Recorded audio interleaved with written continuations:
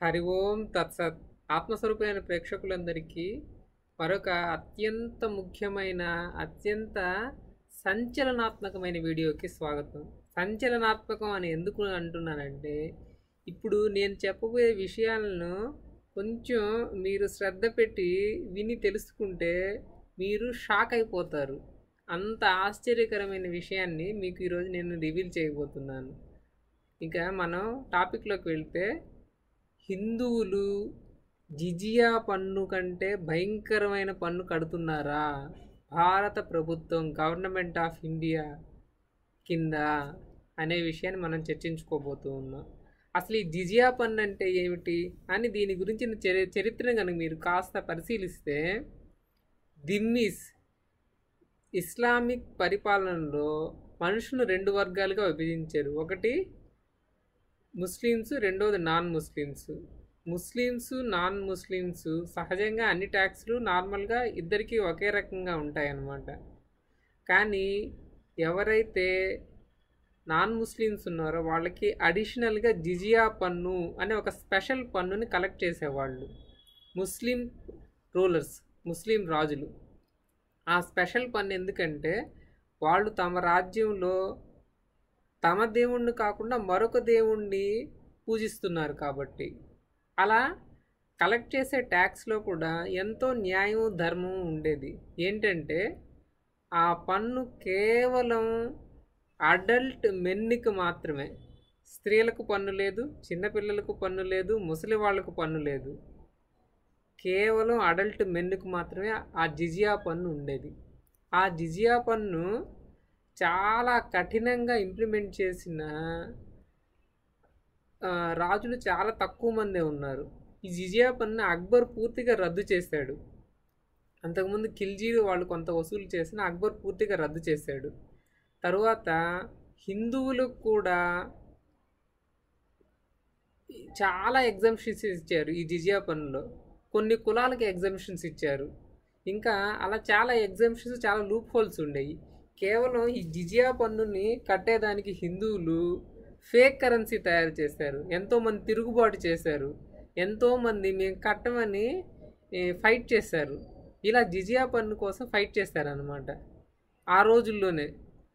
అప్పుడు వాట్సాప్లు లేవు social media లేదు. కానీ అంత స్ట్రాంగ్గా ఫైట్ చేశారు. కొంతమంది ఎంతో కష్టపడి పన్ను కట్టి తాము హిందువులుగానే జీవించారు. ఇప్పుడు మనం అప్పట్లో జిజియా పన్ను మరీ అంత ఎక్కువ పర్సంటేజ్ ఏం కలెక్ట్ చేయలేదు. చాలా తక్కువే కలెక్ట్ చేశారు. కానీ ఇప్పుడు మీరు కడుతున్నటువంటి జిజియా పన్నుని చూస్తే మీరే షాక్ అవుతారు. నేను ఈ మధ్య ఒక సోషల్ మీడియాలో ఒక తిరుగుతున్న ఒక వీడియో చూశాను. ఒక ముస్లిము హిందువులకి వార్నింగ్ ఇచ్చాడనమాట. ఇంకా తొందరలో హిందూ దేశం మొత్తం భారతదేశం అంతా ఇస్లామిక్ దేశంగా మారబోతుంది. మేము తిరిగి మీ దగ్గర జిజియా పన్ను కట్టించుకుంటాము అని ఒక వార్నింగ్ రిలీజ్ చేశాడనమాట.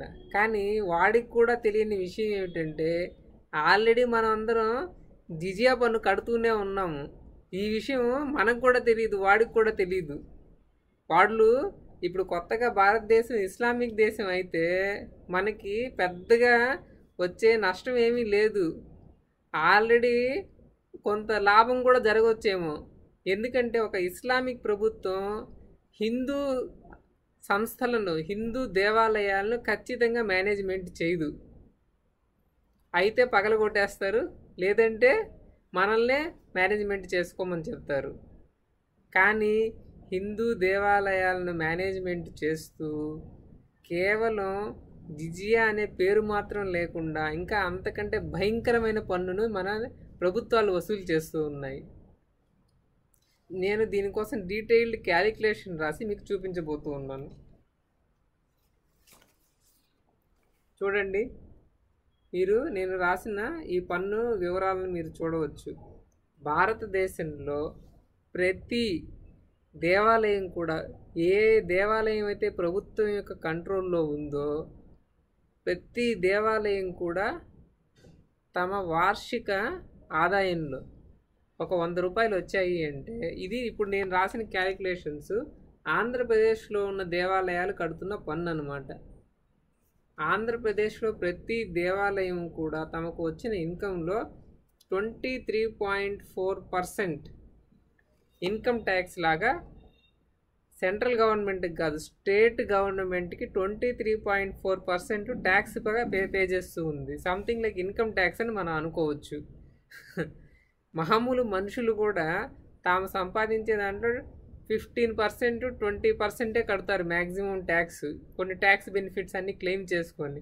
కానీ టెంపుల్స్ మాత్రం twenty three point four percent tax ఖచ్చితంగా కట్టి తీరాల్సిందే. దానికే ఎగ్జాంప్షన్స్ ఇంకా నేను అక్కడ ఇన్వెస్ట్మెంట్ చేశాను ఇక్కడ ఇవన్నీ ఏం లేవు. ఖచ్చితంగా కట్టాల్సిందే. ట్వంటీ త్రీ పాయింట్ ఫోర్ ట్యా ఫోర్ పర్సెంట్ అది కాకుండా ఇంకా ఫిఫ్టీన్ పర్సెంట్ ఎండోమెంట్ ట్యాక్స్ అంటే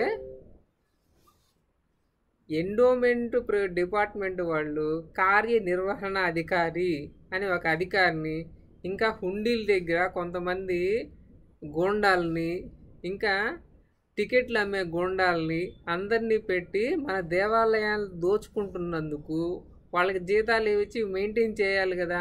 అందుకోసం ప్రతి దేవాలయము కూడా పదిహేను శాతం ఎండోమెంట్ డిపార్ట్మెంట్ కడుతుంది. చూడండి.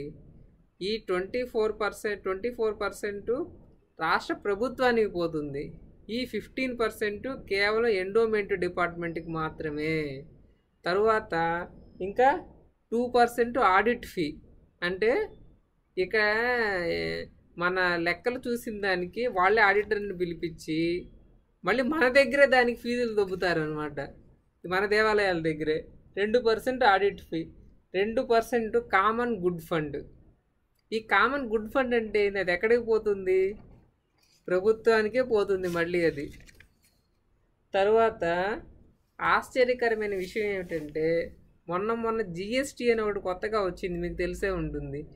జిఎస్టీ రాకముందు వ్యాట్ ట్యాక్స్ సిస్టమ్ ఉండేది.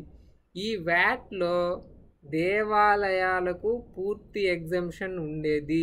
దేవాలయాలు ఏదైనా ముడి పదార్థాలను కొన్నా ప్రసాదం తయారీకి ఏదైనా వస్తువులు కొనుక్కున్నా పూజలు చేసేదానికి ఏదైనా వస్తువులు కొనుక్కున్నా రిపేర్ లిక్విడ్ అన్నింటికి ఏం కొనుక్కున్నా కానీ అందులో ఎటువంటి ట్యాక్స్ కట్టాల్సిన అవసరం లేదు. దేవాలయాలు ఈ ఎగ్జామ్షన్ ఉండేది.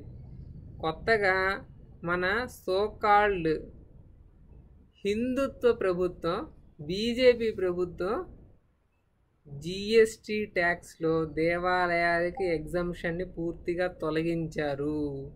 ప్రతి దేవాలయము కూడా ఇప్పుడు పద్దెనిమిది పర్సెంట్ జిఎస్టీ. అంటే మన వాళ్ళు కొనుక్కునే వస్తువుని బట్టి అరౌండ్ పద్దెనిమిది పర్సెంట్ జిఎస్టీని కట్టాల్సి వస్తుంది. ఒక టీటీడీ సంస్థే అంతకుముందు వ్యాట్ ఉన్నప్పుడు ఎటువంటి ట్యాక్స్ కట్టాల్సి వచ్చేది కాదు. ఇప్పుడు కేంద్ర ప్రభుత్వానికి వంద కోట్ల రూపాయలు జిఎస్టీ కట్టాల్సి వస్తూ ఉంది. ఒక టీటీడీ సంస్థే. ఇంకా మీరు అర్థం చేసుకోండి. రాష్ట్ర ప్రభుత్వాలు తమ దేవాలయాల నుంచి కేంద్ర ప్రభుత్వం ట్యాక్స్ కలెక్ట్ చేస్తూ ఉంటే దానికి వ్యతిరేకంగా ఫైట్ చేశారు. లేదు మేము కట్టము అది ఇది అని గొడవలు కూడా చేశారు. మరి అదే రాష్ట్ర ప్రభుత్వం తమకు ఎటువంటి సంబంధం లేనటువంటి హిందూ దేవాలయాల నుంచి ట్యాక్స్ ఎలా కలెక్ట్ చేస్తుంది? వీళ్ళ రావాల్సిన రెవెన్యూ కేంద్ర ప్రభుత్వం తీసుకుంటే వీళ్ళు ఫైట్ చేస్తారు. అసలు వీళ్ళు ఇద్దరికీ సంబంధం లేని దేవాలయాల నుంచి వీళ్ళు ఎలా రెవెన్యూని తీసుకుంటారు? ఇక ఇప్పుడు చూడండి. మొత్తం కలిపితే నైన్టీన్ ప్లస్ ట్వంటీ త్రీ. అంటే almost fifty percent of the మనీని బ్రాడ్ డేలైట్లు పట్ట పగలు దేవాలయాల నుంచి రాష్ట్ర ప్రభుత్వాలు దోపిడీ చేస్తూ ఉన్నాయి. ఇది కేవలం మీకు పబ్లిక్గా తెలిసేటువంటి విషయం మాత్రమే. అంటే ఈరోజు మీరు దేవాలయానికి వెళ్ళి ఒక వంద రూపాయలు హుండీలో వేస్తే గుర్తుపెట్టుకోండి వంద రూపాయలు హుండీలో వేస్తే ఆ హుండీలో వేసినటువంటి వంద రూపాయల్లో యాభై రూపాయలు జిజియా పన్ను కింద రాష్ట్ర ప్రభుత్వాలు తీసుకుంటూ ఉన్నాయన్నమాట. ఏపీ ప్రభుత్వం తీసుకుంటూ ఉంది.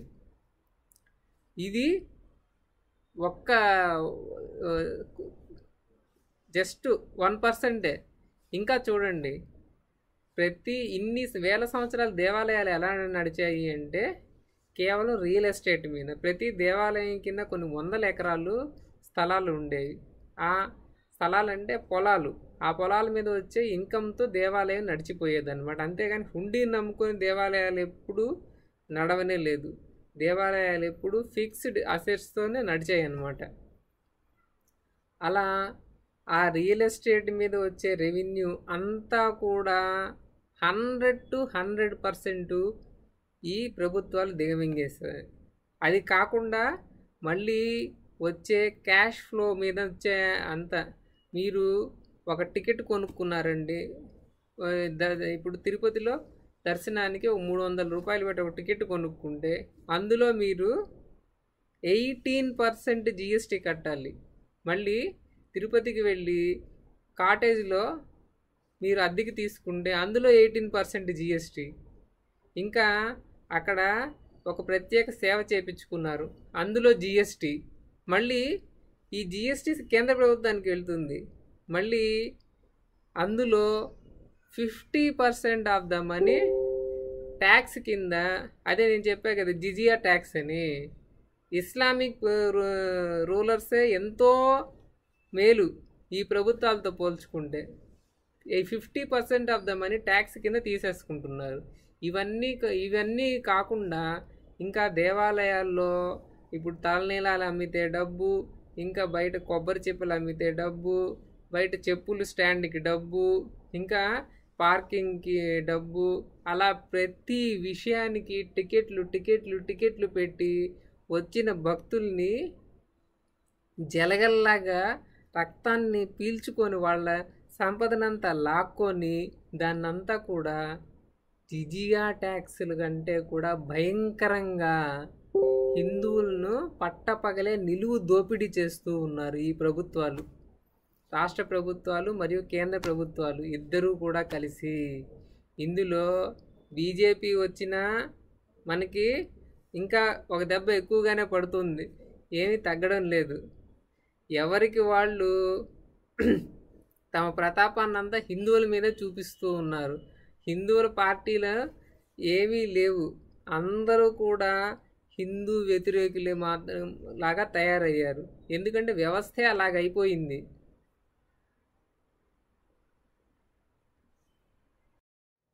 దీనికి నేను ఒక చిన్న స్టోరీ చెప్తాను. మీకు చాలా సింపుల్గా అర్థమైపోతుంది. ఇప్పుడు మీకు ఒక వంద ఎకరాల పొలం ఉంది. ఇంకా మీరు చాలా రిచ్ పీపుల్ వంద ఎకరాల పొలం ఉంది. మీ ఇంట్లో ఒక నలుగురు మనుషులు ఉన్నారు. మీకు ఒక కిలో బంగారము ఒక పది లక్షల క్యాష్ మీ ఇంట్లో ఉంది. ఇప్పుడు పెద్ద ఇల్లు కూడా ఉంది. ఇప్పుడు రాత్రికి రాత్రి ఒక నలుగురు దొంగలు వచ్చి మీ ఇంట్లోకి చొరబడి మిమ్మల్ని కొట్టి మీ దగ్గర ఉండే బంగారము డబ్బు తీసుకెళ్ళిపోయారు. ఇంకా మీ ఇంట్లో నాలుగు గోడలు కూడా పగలగొట్టి వెళ్ళిపోయారు. దీనివల్ల నిజంగా మీకేమో నష్టంగా నష్టం కలుగుతుందా? కొంత నష్టం అయితే కలిగింది. కానీ మీరు గట్టిగా ప్రయత్నిస్తే ఒక్క సంవత్సరం రోజున తిరిగి మీ నష్టాన్ని పూడ్చుకోవచ్చు. అలా తిరిగి మీరు పోగొట్టుకున్న సంపదను ఈజీగా సంపాదించవచ్చు. కానీ ఇప్పుడు రెండో దొంగ గురించి చెప్తున్నాను. ఈ రెండో దొంగ పబ్లిక్గా ఒక చట్టాన్ని రాసుకొని వస్తాడనమాట ఆ చట్టంలో మీ ఇంట్లో అవినీతి జరుగుతుంది. మీ ఇంట్లో ఏదో అవినీతి జరుగుతుంది. అందుకని మీకు మేనేజ్మెంట్ రాదు కాబట్టి నేను వచ్చి మేనేజ్ చేస్తాను మీకు మంచి చేస్తాను అని వస్తాడు. మీ వంద ఎకరాల పొలాన్ని తన పేరు మీద రాపించుకుంటాడు. ఇంకా మీ ఇంట్లో ఉండే డబ్బు బంగారం అంతా కూడా తీసుకొని తన అకౌంట్లో పెట్టి నేను జాగ్రత్తగా చూసుకుంటానని చెప్తాడు. ఇంకా అలా మీ మీ ఇంట్లో ఒక అధికారిని పెడతాడనమాట ఆ అధికారి పని ఏమీ లేదు. మీరు సంపాదించిన డబ్బంతా లాక్కొని వాడు వాళ్ళకి ఇస్తూ ఉంటాడు. వాళ్ళ అకౌంట్లో వేసుకొని మీకు రోజువారీ ఖర్చులకు పది రూపాయలు కావాల్సి వస్తే ఐదు రూపాయలు మాత్రమే ఇస్తాడనమాట అలా ఆ దోపిడీ పట్ట పగలే దోపిడీ చేస్తాడు. ఇంకా తాము మీకే హెల్ప్ చేస్తున్నట్టు బిల్డప్ కూడా ఇస్తారు. ఇలా ఈ దోపిడీ అనేది ఒక్కరోజు జరగదు. ఒక డెబ్బై ఐదు సంవత్సరాలు ఇలా దోపిడీ జరిగితే మీ కుటుంబం యొక్క పరిస్థితి ఎలా ఉంటుందో ఒకసారి ఊహించుకోండి. మీ కుటుంబం చిన్నాభిన్నం అయిపోతుంది. మీ కుటుంబం యొక్క ఆర్థిక పరిస్థితి చాలా హీనంగా అయిపోతుంది. ఇంకా మీ కుటుంబంలో రిలేషన్షిప్స్ ఉండవు. ఇంకా ఎందుకంటే మీ కుటుంబంలో ఎప్పుడు ఆ కార్యనిర్వహణ అధికారి ఒకడు వచ్చి కూర్చొని మీరు నలుగురు కలవకూడదు మాట్లాడుకోకూడదు వాళ్ళకి వ్యతిరేకంగా ఏమన్నా ప్రయత్నించకూడదు వీళ్ళని పంపించేసేదానికి. అలా పట్ట పగలే మీ ఇంట్లోకి వచ్చి దోపిడీ చేసి చివరికి మిమ్మల్ని బానిసలుగా చేసి మీ కుటుంబాన్ని కంప్లీట్గా విచ్ఛిన్నం చేసేస్తాడనమాట.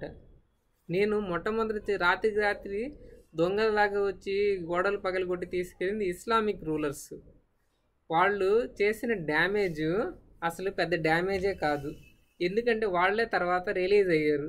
ఎన్ని దేవాలయాలు పగలగొడితే ఉంది వీళ్ళు వంద పగల కొడితే రెండు వందలు కట్టారు మన హిందువులు. ఒకదా అన్ని ఎన్ని ఎన్ని పగల కొడితే అన్ని పగల కొడితే అప్పటికప్పుడు తమ ఇంట్లోనే ఆ దేవుళ్ళని పెట్టి పూజించుకున్నారు.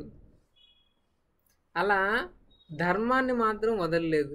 వాళ్ళు ధర్మాన్ని ఎటువంటి డ్యామేజ్ చేయలేకపోయారు. కానీ ఇప్పుడు వచ్చినటువంటి ఈ కొత్త ప్రభుత్వాలు ధర్మాన్ని సమూలంగా కూకటి వేళ్ళతో సహా పెకిలించేస్తూ ఉన్నారు. అప్పట్లో ఇస్లామిక్ రూలర్స్ విధించినటువంటి జిజియా పన్ను కంటే భయంకరమైన పన్నులు మన దగ్గర మనకి తెలియకుండానే వసూలు చేస్తూ ఉన్నారు. ఇలా ఈ పన్నులు వసూలు చేసేదానికి మరొక ప్లాన్ కూడా వేశారు. అన్ని దేవాలయాలకి ఆర్టీసీ బస్సులు బాగా నడుపుతూ ఉన్నారు. ఇంకా ఉత్సవాలు వస్తే గ్రాండ్గా చేస్తారన్నమాట ఉత్సవాలు. ఎందుకు అనుకుంటున్నారా? అది దేవాలయాల మీద ప్రేమతో కాదు. అక్కడికి వచ్చే హిందువులను దోపిడీ చేసేదానికి వాళ్ళు అలా గ్రాండ్గా చేస్తారు ఉత్సవాలు దేవాదాయ శాఖ వాళ్ళు. చూడండి ఆ శాఖ పేరులోనే ఏమైనా వాళ్ళకి బుద్ధి ఉంది అసలు. దేవ ఆదాయ శాఖ. దేవాలయాలు ఆధ్యాత్మిక కేంద్ర కేంద్రాలు కానీ ఆదాయాన్ని ఇచ్చే సంస్థలు కాదు. ఇంత చిన్న విషయం కూడా వీళ్ళకి తెలియదా వీళ్ళకి అసలు ఈ దేశం మీద ఈ ధర్మం మీద ఎటువంటి ఒక వెంట్రుక వాసి ప్రేమ కూడా లేదు. ఈ పాలకులు కానీ ఈ చట్టాలు తయారు చేసే వాళ్ళకి కానీ ఈ మొత్తం వ్యవస్థకే ఈ ప్రభుత్వానికే ఈ ధర్మం మీద ఈ దేశం మీద వెంట్రుక వాసి ప్రేమ కూడా లేదు. ఉంటే ఈ దేశాన్ని పరిపాలించినటువంటి విదేశీయుల కంటే ఇస్లామిక్ ఇన్వేడర్స్ కంటే బ్రిటిష్ వాళ్ళ కంటే కూడా అత్యంత దారుణంగా హిందువులను పట్టపగలే దోపిడీ చేసి డెబ్బై ఐదు సంవత్సరాలు హిందూ వ్యవస్థలను హిందూ దేవాలయాలను హిందూ మఠాలను అన్నింటినీ సర్వనాశనం చేసి హిందువుల్లో అసలు ఒక ఐక్యత అనేది లేకుండా హిందూ వ్యవస్థను కూకటి వేళ్ళతో సహా పెగిలించి వేశారు.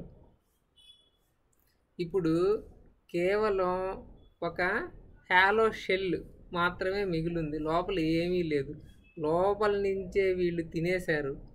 ఒక చెదపురుగు లోపలికి వెళ్ళి లోపల నుంచి ఎలా తినేస్తుందో అలా ఈ ప్రభుత్వాలనే చెదపిరువులు పా- మన వ్యవస్థలో దూరి హిందూ సమాజాన్ని లోపల లోపల లోపలే పూర్తిగా తినేశారనమాట ఇక బయట నుంచి ఎవరైనా వచ్చి ఒక దెబ్బేస్తే అంతా ముక్కలు ముక్కలు అయిపోతుంది అనమాట అది. తరువాతి వీడియోలో మనం ఇంకా దీనికి సంబంధించిన విషయాలను చర్చించుకోవాల్సినది చాలా ఉంది. వీడియో లెంత్ ఎక్కువైపోతుంది అని నేను చాలా విషయాలను కట్ చేసి చెబుతూ ఉన్నాను. ఇంకా చాలా రీసెర్చ్ చేస్తూ ఉన్నాను. మీరందరూ మీ కామెంట్లని కింద డిస్క్రిప్షన్లో చెప్తే దాన్ని బట్టి తర్వాత వీడియోలో ఇంకా కొన్ని కొత్త విషయాలను చెప్పే ప్రయత్నం చేస్తాను. హరి ఓం తత్సత్.